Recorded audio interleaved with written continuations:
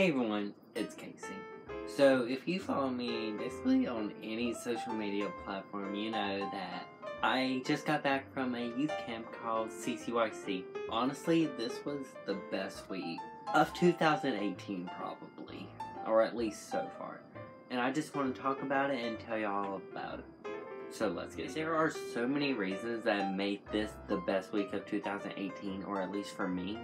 But this also makes it the best week of CCYC I have had. I've been to CCYC six times now. This year was so refreshing for me, friendship wise, spiritually, physically, and all sorts of ways. So let's just start with the first day and talk about it from there. This year, I absolutely loved my team. I practically knew everybody on my team already except one guy, and he was awesome the whole week. I didn't even have to like try to get to know him. He basically got to know me, if that makes any sense. My whole team was just so amazing. I think we got in eighth place. The theme for this year was the Olympics, and as you know, in the Olympics, there's different countries, and our country for the week was Portugal. So we had to come up with a name had a P in it too to go along with it.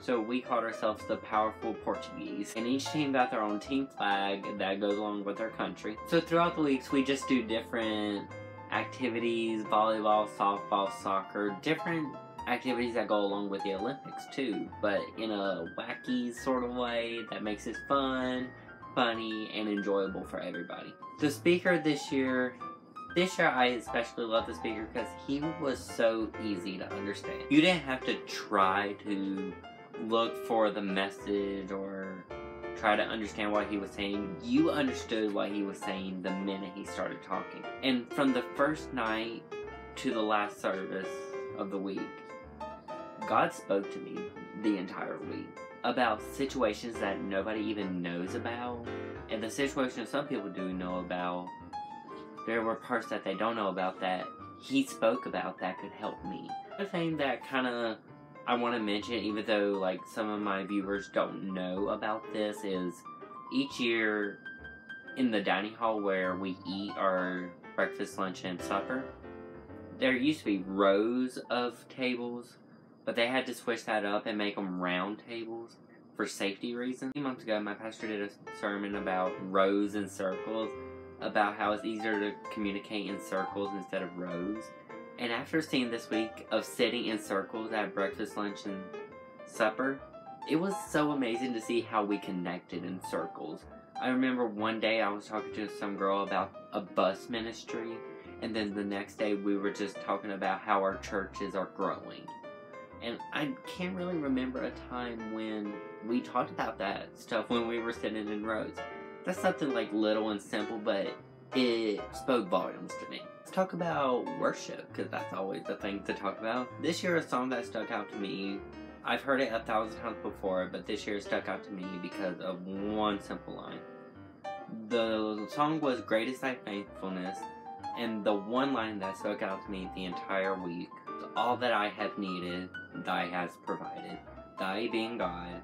But how that spoke out to me was all that I have needed. Not that I have wanted, but what I have needed, God has provided. And I never looked at it that way. God isn't going to provide what I want, He's going to provide what I need. So that also spoke out to me this week. My favorite things about this week was skit slash talent night each year we perform skits live and perform a talent live if you sign up for the talent show, but the skits your team has to do. This year we had to film our skits, and as y'all know, I love to film and edit, so I kind of got put in charge of the filming and editing process of the whole skit.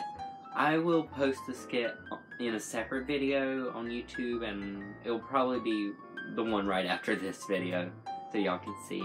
And our skit was based off the story of the tortoise and the hare, but getting to Jesus with all your distractions in life. So stay tuned for that video. I really don't want to get much into it because I've explained it a thousand times this week. Talent night, there were so many great talents, and I just can't put it all into words about how these people use their talents for God. Now, none of y'all are, are really going to know about this unless you actually went to CCYC or know of CCYC. In the area of this camp, which is my hometown, it's also held at my school slash church.